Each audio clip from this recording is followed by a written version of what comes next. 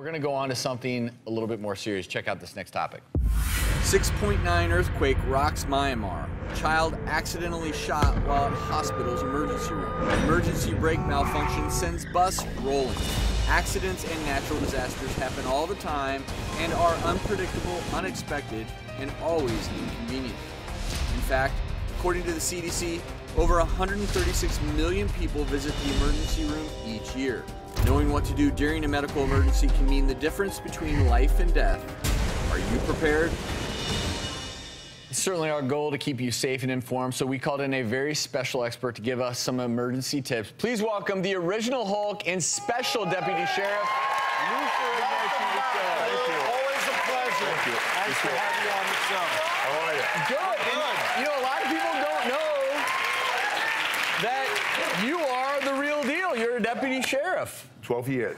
Really? Yeah, Los Angeles and uh, San Luis Obispo. My father used to be uh, NYPD lieutenant, so I've always been fascinated with law enforcement. I said, why not? So I went through the academy, became a certified uh, deputy. So if I mention your name, I'll get out of a ticket? No. no. no. I have to I'm just. I'm just kidding. And that's why, of course, Lou is here to share three things that we have to have in our emergency kit.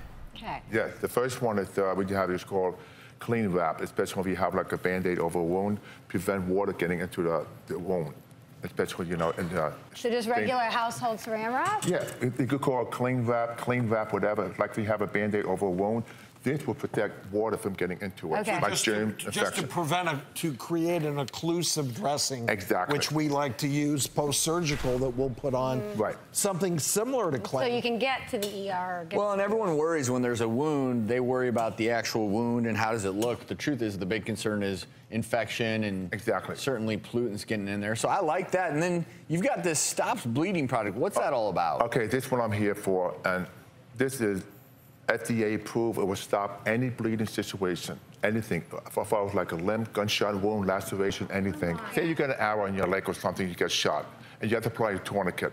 Yep. With this one, you don't need a tourniquet after like an hour because it will stop the bleeding immediately. What any is kind of it? What's in that bag? It's a powder form. It's white powder. it's you like apply, Gelfoam for example, powder? you have any kind of cut, you apply pressure, it stops bleeding no, you immediately. do put it in water or do you put it? No, you just apply it right on, right on the wound. Can I open simple. one? it is sort of like Avitene, you know, other other Yeah. Product, powders yes.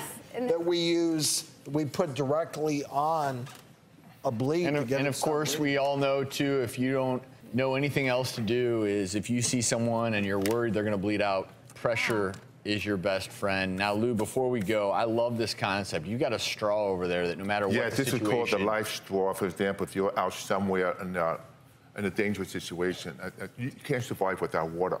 So with this straw, if there's dirty water, it will filter it.